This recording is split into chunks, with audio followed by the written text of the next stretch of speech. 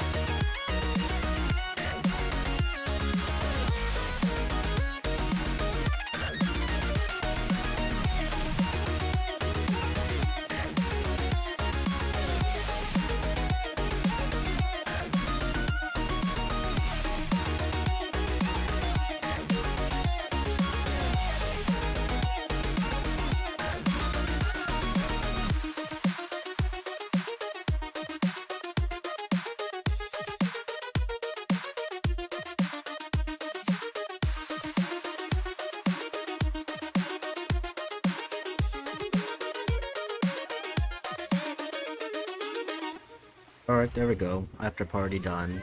Uh, yeah, it was definitely pretty easy. Only 54 attempts in 23 minutes, so definitely one of the shortest easy demon completions, or medium demon completions I've ever done. Overall attempts 160, which is something that I think means that this is an easy demon, at least in my opinion, mainly because, like, typical medium demons take me around, like, I don't know, 350, like, attempts, so, like, double of that and I've had some easy demons where they've taken me like a couple hundred attempts, even when I was like back then when I was even better than what I am now. Because right now, I'm not at the greatest skill level because I've taken quite a break from this. However, I do play every so often for weekend Demon Wednesday, so I'm just keeping my skill at least a bit sharpened. So overall, the level was actually really fun. Definitely easy, as I've said many a times before.